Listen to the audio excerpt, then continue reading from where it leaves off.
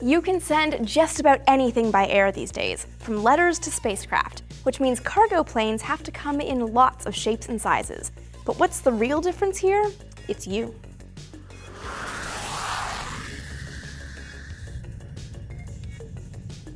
So let's start with what we know, a commercial passenger flight. And to be honest, y'all are pretty heavy.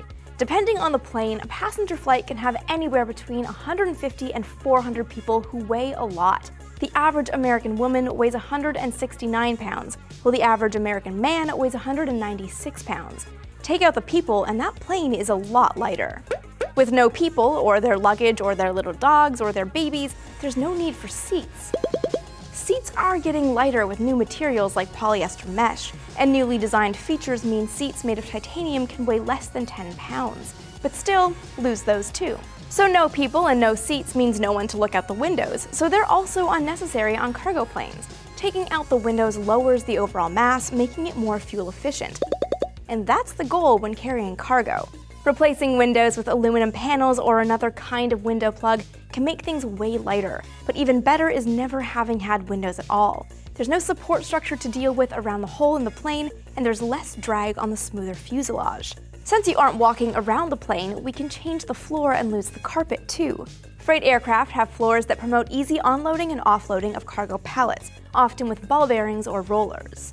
Converting a plane from passenger jet to a cargo plane by taking out all these things is far cheaper than buying a new plane, so that's why you see freight planes with window outlines and other features that look like passenger planes. Though it's not the case that a plane carries either passengers or cargo. The US Postal Service leases space on about 15,000 of the 25,000 or so passenger flights scheduled each day. And some flights can even be configured such that half the cabin compartment holds people while the other half holds cargo. But there are planes built specifically for cargo, largely to support the increasing demand for worldwide shipping. Some basic models come from the factory ready to haul as much as five semi-trucks worth of cargo. There are some interesting specializations out there too. The doors on cargo planes, for example. Most have the traditional cargo doors that we see on passenger jets, though cut into different parts of the plane for the sake of cargo loading.